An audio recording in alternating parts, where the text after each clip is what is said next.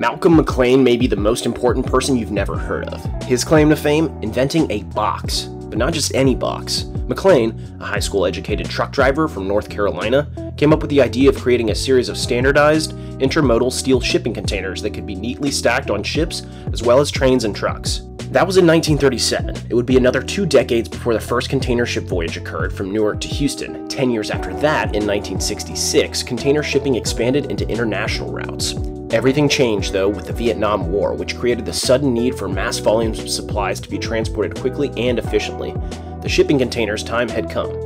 By the end of the 1960s, McLean sold his empire for a profit of 160 million. According to one estimate, McLean's invention reduced the cost of shipping by 25%. We would argue the savings are many times greater than that, perhaps incalculably so. Just consider labor alone. Before containerization, goods had to be loaded and reloaded by hand at every stop along the supply chain. From ship to port, from port to train, from train to truck. Today, much of this work is seamless and automated. Below is an excerpt from economist Marc Levinson's essential history on the container and its impact on our lives, The Box.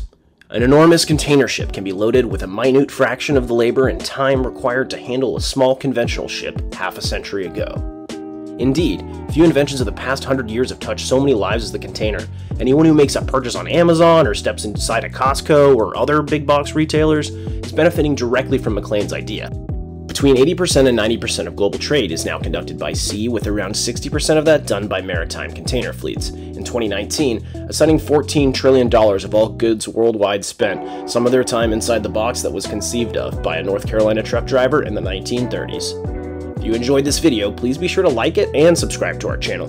To receive our award-winning Investor Alert, a weekly e-newsletter, visit usfunds.com. Happy investing!